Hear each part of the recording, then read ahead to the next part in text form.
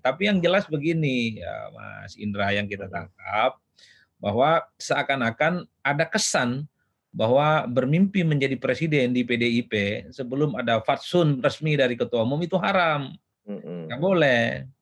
Kan itu yang kemudian mengembang. Apa salah seorang kader partai, entah dari kepala daerah atau anggota dewan, mimpi indahnya itu ingin jadi capres di 2024. Hmm. Mengingat PDIP ini adalah pemenang pemilu dua kali hmm. berturut-turut, menang pileg dan pilpres. Hmm. Kan ini yang kemudian dipersoalkan oleh publik. Ya, hmm. tentu PDIP punya rasionalitas, punya parameter tersendiri.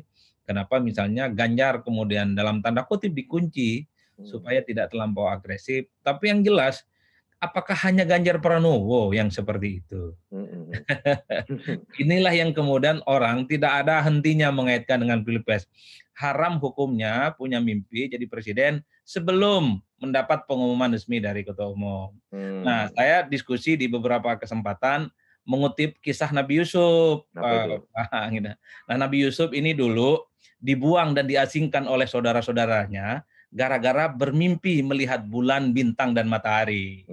Untunglah setelah dibuang ke sumur, Nabi Yusuf ini dipungut seorang musafir dan diberikan kepada Raja Mesir. Nah ketika dia diasuh oleh Raja Mesir, dia kemudian menjadi bintang dan terang benderang di banyak oh. tempat. Ah, jangan nah, berarti nunggu Raja Mesir nih, maksudnya iya. Bang Ali.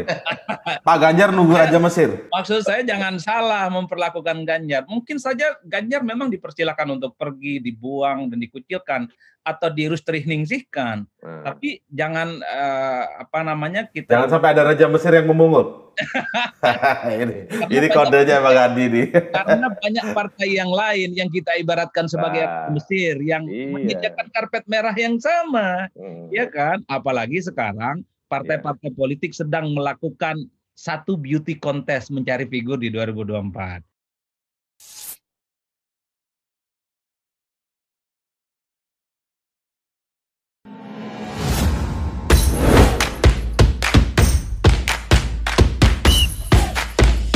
Ayam kalau diaduk-aduk jadi cair. Seriously, diaduk kayaknya ya.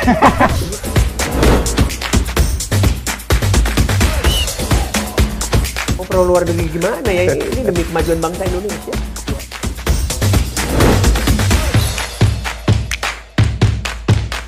isu kebangkitan uh, PKI ini uh, dihentikan.